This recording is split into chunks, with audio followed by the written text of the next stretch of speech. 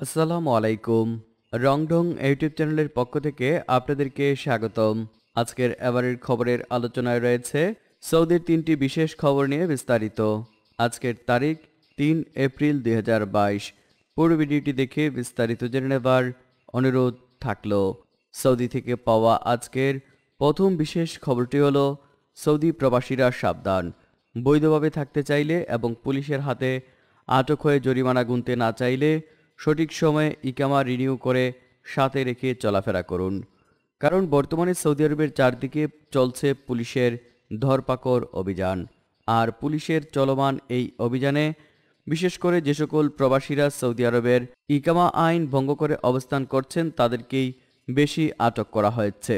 Saudi gadget পত্রিকার এক খবরে জানানো হয়েছে, গত সপ্তাহে মানে গত সাত দিনের পুলিশের চলমান অভিযানে সৌদি আরবে শুধুমাত্র ইকামা আইন বঙ্গের দায়ে নয় হাজার দুইশো একাত্তর জন অবৈধ প্রবাসীদেরকে আটক করা হয়েছে।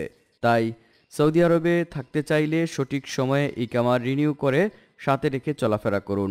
আর নয়তো পুলিশের হাতে আটক হলে জরিমানা গুনতে হবে এবং দেশ ছাড়তে হবে।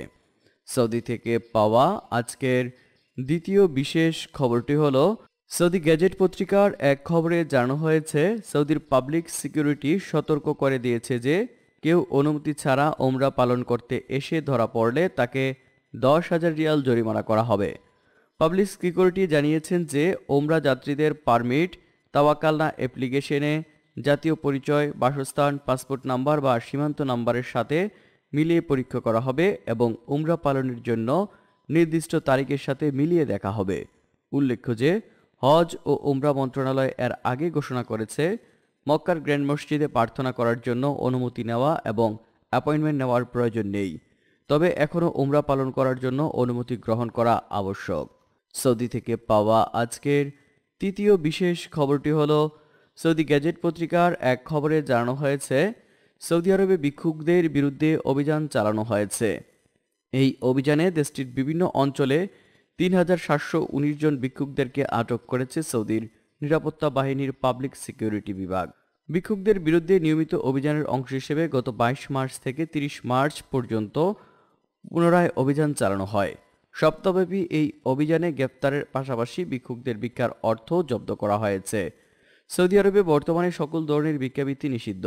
ভিক্ষাবৃত্তি বন্ধে দেশটির স্বরাষ্ট্র মন্ত্রণালয় নির্দেশনা বাস্তবায়নে কাজ করছে দেশটির নিরাপত্তা বাহিনীর পাবলিক সিকিউরিটি।